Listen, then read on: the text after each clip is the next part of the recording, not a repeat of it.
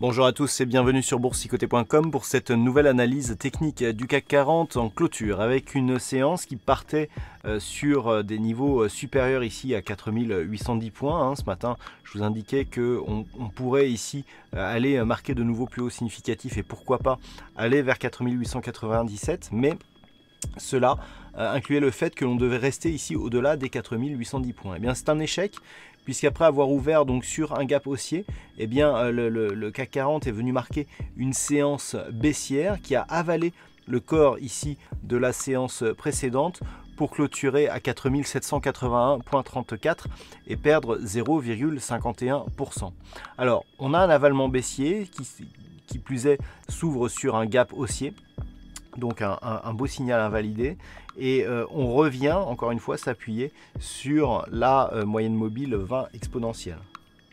Du point de vue des indicateurs, nous sommes toujours dans une configuration haussière ici au sens du RSI qui sort de sa zone de survente, mais le MACD qui était euh, haussier et assez dynamique est en train de se retourner au vu de l'histogramme que nous avons sur cette séance et qui est rouge.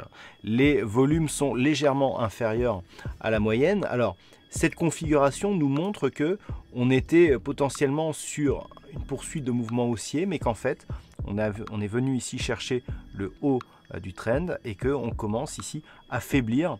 Malgré tout, on reste ici au-dessus de cette moyenne mobile 20 exponentielle. Alors, d'un point de vue technique, il y a des éléments baissiers et d'autres éléments qui de, pas de, conviction haussière à ce mouvement. Euh, bien sûr, la moyenne mobile 20 exponentielle qui s'impose comme support, le fait que nous avons toujours sur cette séance par rapport à la précédente, et ce malgré l'avalement, eh bien un plus bas et un plus haut supérieur par rapport à la séance précédente. Hein. on a un point pour, pour le, point bas de, cette séance. Et puis à la baisse, eh bien, il y a cet avalement et le fait que l'on n'arrive plus à rester, à, rester euh, d'une manière pérenne au-delà des 4810 points.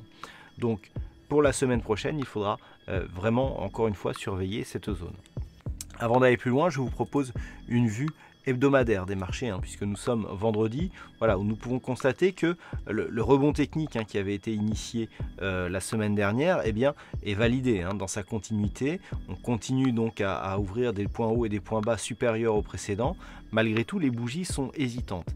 Et la configuration que nous avons ici n'est pas très favorable, je vais y revenir. Du point de vue des indicateurs, on reste sur une dynamique haussière du point de vue hebdomadaire suite au retournement que nous avons connu la semaine dernière. Le RSI, là aussi, est sur une trajectoire plutôt haussière de sortie de sa zone de survente. Mais revenons donc à cette configuration dont je vous disais qu'elle n'était pas très favorable. Eh bien, nous avons tout simplement une configuration avec des bougies baissières qui présentent une forte conviction. Et suite à la bougie ici que nous avions eue sur une des dernières semaines de décembre, eh bien, nous avons trois bougies hésitantes qui remontent ici d'une manière euh, assez, euh, assez progressive et assez régulière. Ce type de formation ici avec donc une bougie euh, baissière à forte conviction, et trois bougies haussières à conviction euh, très hésitante, c'est une configuration qu'on appelle en trois méthodes. Configuration en trois méthodes, eh bien on l'a ici sur ces trois bougies avec cette bougie à conviction. Donc la semaine prochaine, si on avait une bougie fortement baissière, eh bien cette figure serait validée et donc on aurait ici au lieu d'un signal de rebond technique, eh bien une phase de continuité puisque le signal à trois méthodes avec une bougie ici euh, à conviction si elle était confirmée par une bougie identique mais à la baisse, eh bien euh, validerait donc la, la poursuite de la dynamique baissière puisque c'est un signal de continuité. Alors, ce signal serait invalidé dans quel cas? Si on cassait ici le plus haut significatif de cette bougie, à savoir les 4843.48. C'est le signal d'invalidation de cette configuration ici en trois méthodes. Donc si on arrive à repasser dessus la semaine prochaine, eh bien on validera un possible retour ici sur la moyenne mobile 20 exponentielle qui n'a plus été touché hein, depuis que nous avons marqué ici au mois d'octobre, au début du mois d'octobre, eh bien une impulsion baissière qui a cassé les seuils significatifs importants et qui a précipité donc l'évolution du CAC 40 à la baisse.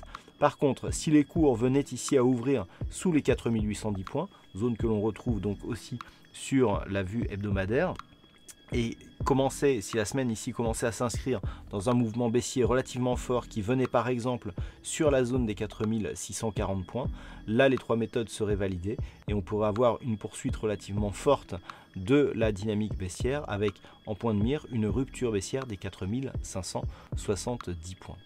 Alors si nous revenons en vue journalière, comment appréhender la séance de lundi? Eh bien tout simplement, comme je vous l'indiquais juste avant de, passer en vue hebdomadaire, euh, tout va se jouer autour de la zone ici des 4810 points. D'autant plus que la semaine prochaine, elle est majeure. Nous aurons le vote du Brexit donc mardi, ce qui risque de nous donner énormément de volatilité, tant sur les paires de devises en livre sterling que sur les indices européens. Donc tout va se jouer la semaine prochaine et donc dès lundi à partir de 4810 points. Si on arrive à préserver cette zone et à casser donc le point haut significatif de la semaine que l'on retrouve ici donc à 4844 points. Là on validera la poursuite du mouvement à la hausse, donc on invalidera le mouvement euh, de, rebond technique hein, impulsé par les trois méthodes et on continuera à viser ici les 4897. Je rappelle qu'une rupture hein, de cette zone des 4897 nous donnerait un signal de retournement assez important sur la tendance moyen terme.